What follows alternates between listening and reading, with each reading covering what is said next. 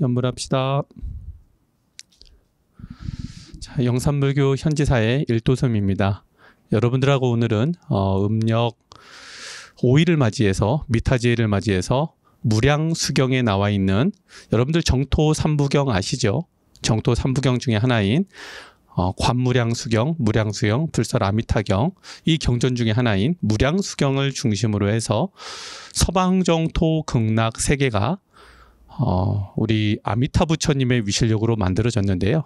석가모니 부처님의 말씀을 통해서 무량수경에 있는 우리 교주 불세존 석가모니 부처님 말씀을 통해서 오늘은 불국토가 서방정토 극락 세계가 어떤 연유로 만들어질 수 있었는지 그 부분에 대한 이야기를 오늘은 여러분들하고 함께 해보도록 하겠습니다. 자, 여러분들 화면을 같이 보시도록 하겠습니다. 자, 여러분들 화면을 같이 한번 보시겠습니다. 무량수경에 있는 부처님의 말씀입니다. 자, 이때 대지가 진동하고 허공에는 아름다운 꽃이 흩날리며 어디선가 모르게 은은한 음악이 울려 퍼지면서 법장 비구를 칭송하는 소리가 들려왔다. 법장이요. 그대는 반드시 이 다음에 부처가 되리라. 여러분들 법장 비구라고 하시는 이분이 우리 아미타 부처님께서 일행시에 어, 수행을 하실 때 비구의 법명이시죠. 이 법장 비구라는 분이 지금 이 장면이 어떤 장면이냐면 48대원을 새 자제왕 부처님 앞에서 당신은 나중에 불국토를 만들 때 이러이러한 불국토를 만들겠습니다. 라고 부처님 앞에서 서원을 하고 그 다음에 저는 이러이러한 이유로 해서 중생들이 이러이렇게 이루지 못하면 성불하지 않겠습니다. 라고 그 앞에서 당당히 밝히고 나니까 그 다음에 대지가 진동하고 허공에는 아름다운 꽃이 흩날리며 어디선가 모르게 은은한 음악이 울려 퍼지면서 법장 비구를 칭송하는 소리가 들려왔다. 법장이여, 그대는 반드시 다음에 부처가 되리라. 여러 가지 이유로 나는 안 하겠습니다. 라고 하니까 부처님께서 어디선가 모르게 공청으로 법장이여 그대는 반드시 이 다음에 부처가 되리라 라고 이렇게 말씀하시는 장면이고요. 자 여러분들 부처님은 다시 안한하게 말씀하셨다. 자 안한존자에게 세종께서 말씀을 하시는데 이 부분이 아미타 부처님께서 법장 비구로 있을 때 어떻게 인행시 수행을 정진했기에 여기 보면 여러분들 이따가 보시겠지만 보살이 닦아야 할 끝없는 덕행을 쌓았기 때문에 비로소 상주 불변의 극락 세계를 만들 수 있었다. 라는 말씀이시거든요. 자, 여기부터 하나 위에서부터 읽어보시면 자 세종께서 말씀하십니다. 아나나 이렇게 해서 법장비구는 새 제자왕 부처님 앞에서 범천마왕 용신 등 팔부중과 그 밖에 많은 사람들이 지켜보는 가운데 48가지 큰 서원을 세우고 오로지 미묘한 불국토 건설에 전념한 것이다. 자 불국토 건설에 전념을 했는데 이 48대원을 세우고 한 생에 한 게 아니라 너무 많은 생을 생을 살면서 살면서 수행 정진하면서 만든 것입니다. 그 원에 의해서 불국토는 끝없이 넓고 커서 다른 어떤 것보다도 비교할 수 없이 홀로 뛰어난 상주불변의 세계였다. 이렇게 해서 만들어진 세계가 상주불변에 이런 세계가 만들어졌다는 거죠. 자, 이와 같이 불국토 건설도 사실은 법장비구가 헤아릴 수 없이 오랜 세월을 동안 보살이 닦아야 할 끝없는 덕행을 쌓았기 때문이다. 결국은 모든 부처님들께서 오랜 동안 서원을 해서 당신들의 불국토를 만드시는데 그 불국토가 만들어질 수 있었던 가장 중요한 이유는 무엇이다? 보살이 닦아야 할 끝없는 덕행을 쌓았기 때문이다. 아미타 부처님께서 인행시 법장부교일 때 이렇게 쌓으셨듯이 불국토 건설이라는 건 그냥 되는 것이 아니라 한없는 세월 동안 보살이 닦아야 할 끝없는 덕행을 쌓아야만 만들어진다는 겁니다. 여러분들 이 점이 아주 가장 중요한 점이고 오늘 이 점을 여러분들이 명확히 좀 아셨으면 좋겠습니다.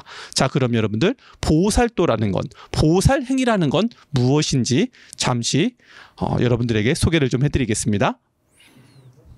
자, 여러분들과 보살도가 무엇인지 좀 어, 일단 좀 자세하게 설명을 좀 드린 다음에 아미타 부처님께서 어떻게 보살행을 지어 가셨는지 또 그 보살행을 통해서 어떻게 극락 세계를 만드실 수 있었는지 그건 이제 조금 있다가 무량수경의 경전의 내용을 중심으로 다시 보는 시간을 갖도록 하겠습니다. 자, 보살도라는 건 여러분들 대승불교에서 보살이 닦고 실천하는 수액의 길입니다. 자, 보살도라는 건 말 그대로 보살. 보살이라고 하는 것은 여러분들 그 산스크리트는 보디사트바 또는 어, 팔리오르는 보디사타 이렇게 얘기하는데요. 이 보살이라고 하는 분들은 부처님이 되기 위해서 수행하는 사람들을 저희가 보살이라고 그럽니다. 대승불교는 소승불교하고 다르게 소승불교는 개인의 해탈을 중심으로 수행을 하는데 대승불교는 자리이타 나도 잘 되고 남도 잘 되는 걸 중심으로 해서 수행 정진해 갑니다. 그래서 결국은 내가 수행을 통해서 성불할 수 있게끔 또 나와 더불어서 남도 보살이 되고 성불할 수 있게끔 이렇게 도와주는 관계를 갖습니다. 그래서 결국 대승보살, 대승불교에서 보살이란 나도 잘 되고 남도 잘 되는 길입니다. 이것이 보살행이고 이 자리 이타행을 근거로 해서 대승불교에서는 언제나 수행 정진하는데 보살도를 닦아갑니다. 구체적으로는 상종심과 사무량심, 육바람일 그리고 사서법이라는 어, 구체적인 실천 방안이 있는데요. 여러분들 마음적으로 내적으로 어떤 굳은 결심, 마음가짐 이런 것을 삼종심이라고 하고 어, 옛날에 원효 스님께서 대승기신 논소에서 이렇게 표현하셨습니다. 직심이라는 건 구부러지지 않는 마음. 뭐에 대해서 구부러지지 않느냐? 자리이타. 나도 잘 되고 남도 잘 되게끔 하는 거에 대해서 나는 언제나 올곧은 마음을 갖겠다. 흔들림이 없는 마음을 언제나 지니고 있겠다. 이런 것을 직심이라고 표현하고 또한 신심, 심심은 여러분들 화면을 통해서 자세하게 여러분들에게 또 보여지니까 읽어보시면 좋겠는데요.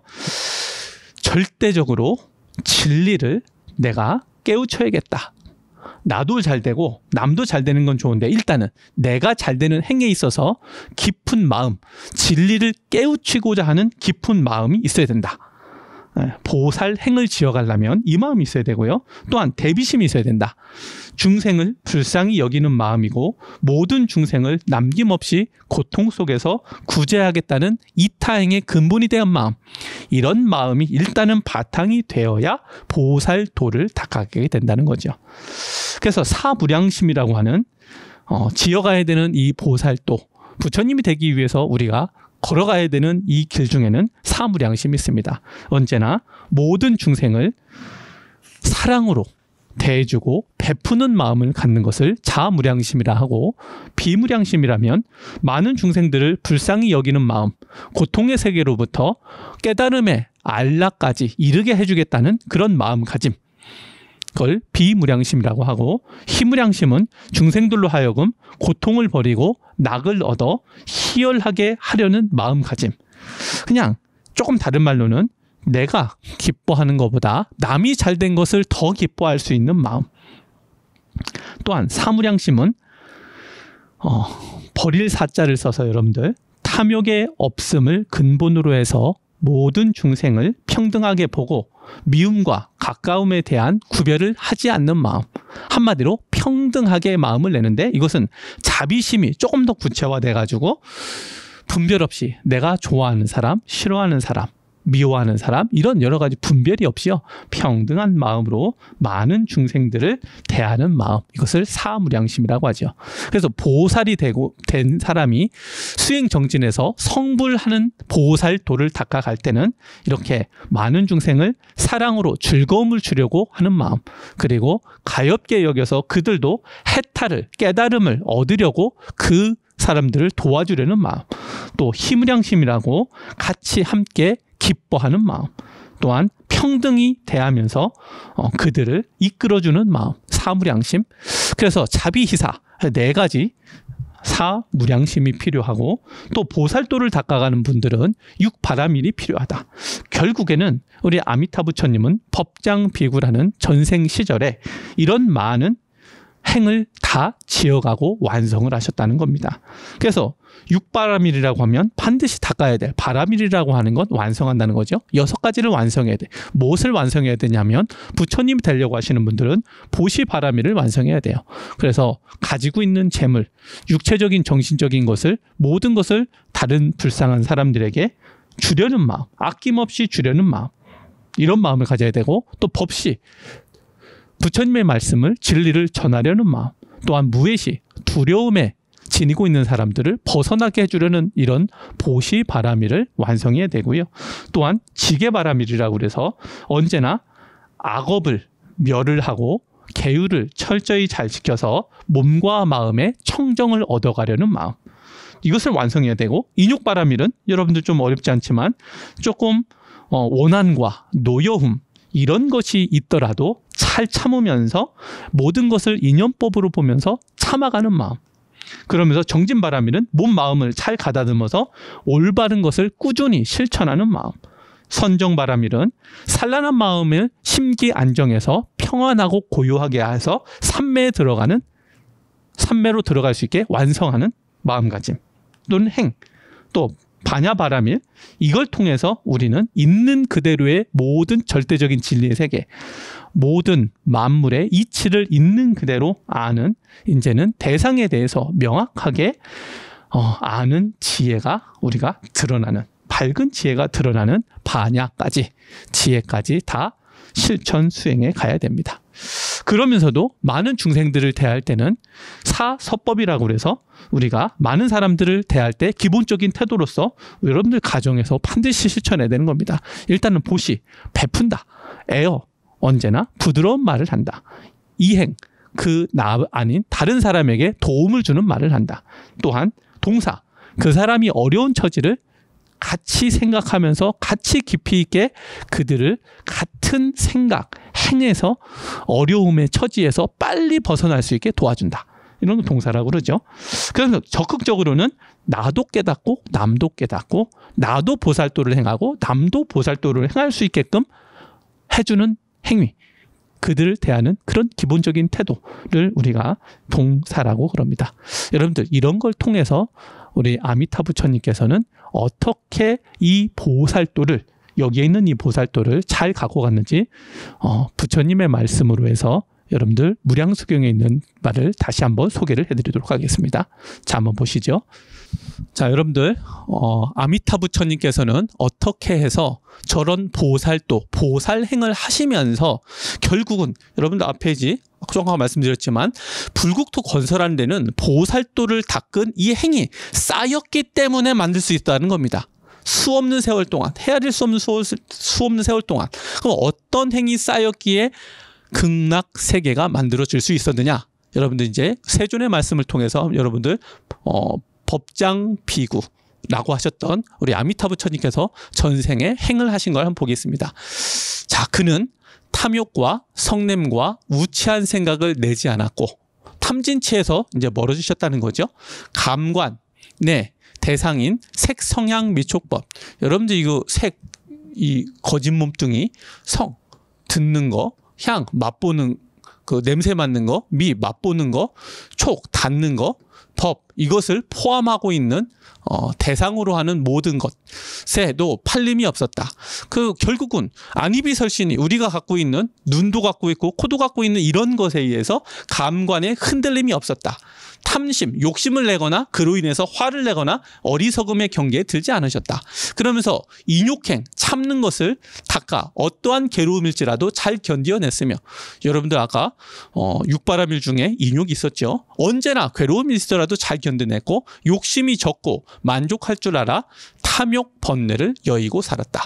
자, 욕심이 적고 욕심이 적다는 건 뭐예요? 언제나 만족할 줄 알았다.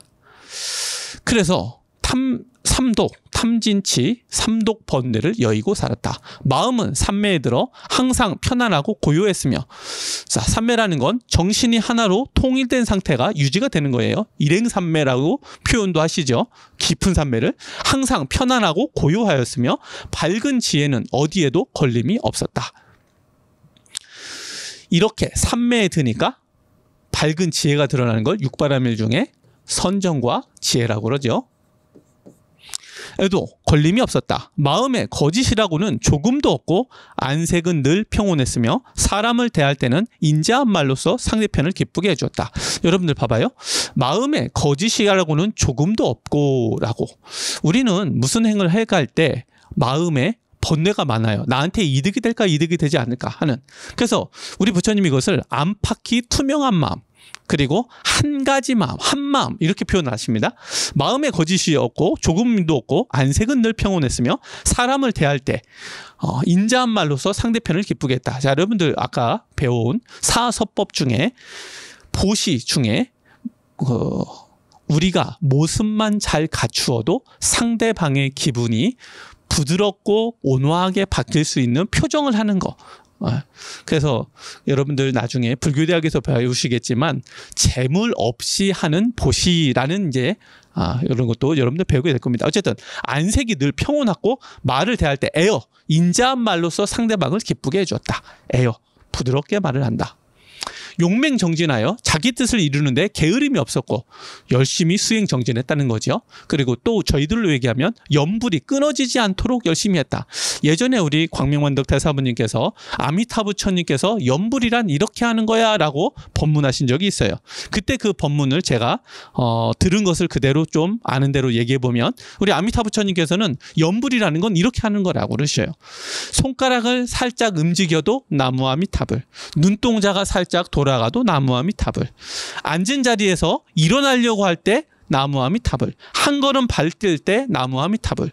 언제 어디서나 어떠한 상황이 조금이라도 변할 때마다 나무아미 탑을 나무아미 탑을 해서 그 연불 소리가 내 안에서 끊임없이 끊임없이 진행될 수 있도록 하는 것이 연불이다. 여러분들 연불이를 하면 어떻게 좋은지 법문하신 것도 여 미타성전 5층에 부처님 아미타 부처님 말씀이 이렇게 걸려져 있는데요. 자, 그거는 다음에 또 소개해 드리도록 하고 어쨌든 걸림이 없고 게으름이 없었고 오로지 청정한 진리를 구하고 그것으로서 모든 중생에게 은혜를 베풀었다.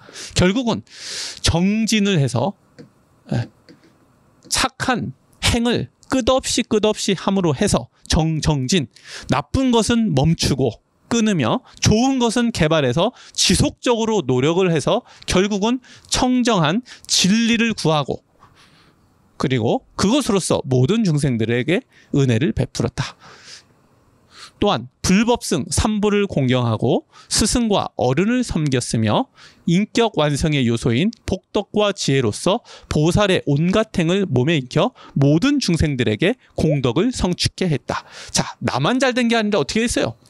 자, 봐봐요. 모든 중생들에게 은혜를 베풀었고 모든 중생들에게 공덕을 성취케 했다. 결국 보살행이라는 대승에서는 나도 잘 돼야 되지만 다른 사람도 잘 될 수 있게끔 언제나 도와줘야 된다는 거죠. 그러죠, 여러분들? 그러면서 인격 완성의 요소인 자 인격 완성의 요소인 복덕과 지혜 사실 보살이 온갖 행을 지어가는 데 있어서 우리가 갖고 있는 복덕과 지혜가 아주 큰 요소입니다. 우리 나중에 여러분들 성불이라고 하는 것을 정의할 때 여러분들 성불이라는 게 뭐예요? 성불. 성불했다. 성불에 대한 정의가 뭐냐? 성불한 모든 분들은 깨우침이 성불이라 하지 않고요.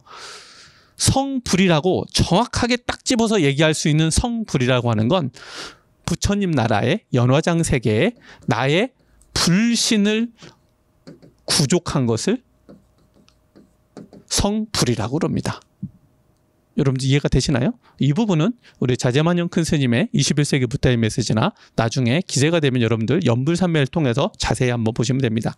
성불이라는 건 내가 연화장 세계의 나의 지복의 몸이라고 그럽니다.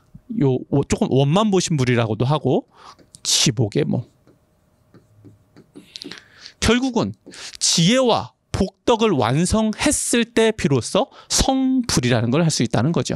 그래서 복덕과 지혜로서 보살의 온갖 행을 몸에 익히고 그 다음에 어떻게 했다고요?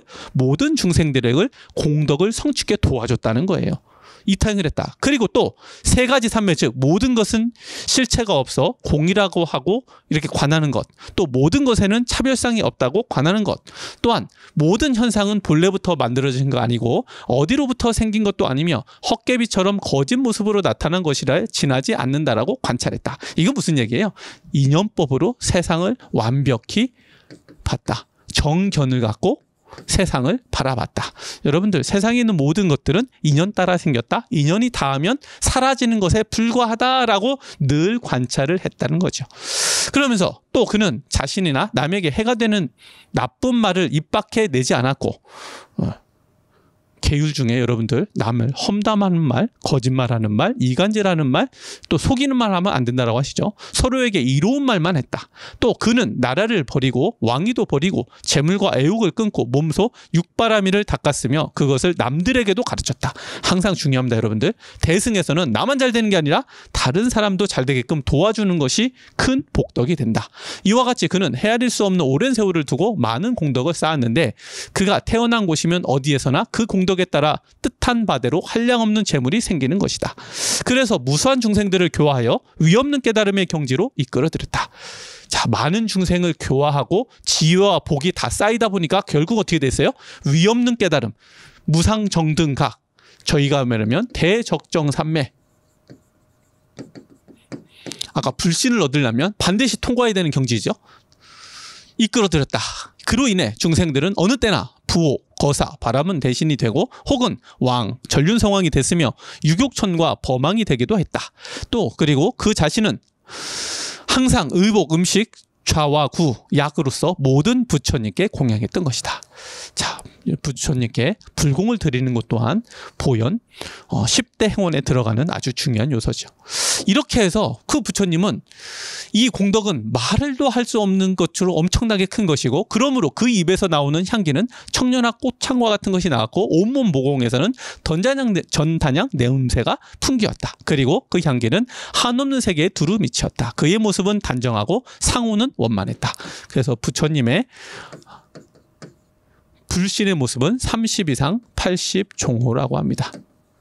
뭐 구체적으로 성불이라는 의미를 영산불교 사상에 맞춰서 하는 건 여러분들 불교대학에서 좀 더 구체적으로 배우시면 좋겠습니다. 양손에는 늘 수많은 보석, 의복, 음식, 진귀한 향과 곧 일산, 당번, 장식품 등이 나타났다. 자 여기서 여러분들 알 수 있는 대목 대목들을 아까 설명해 보면 이 법장 비구 시절에 우리 아미타 부처님께서 보살도를 행하신 모습을 보면 여러분들 한 번 더 보시면서 마무리하겠습니다.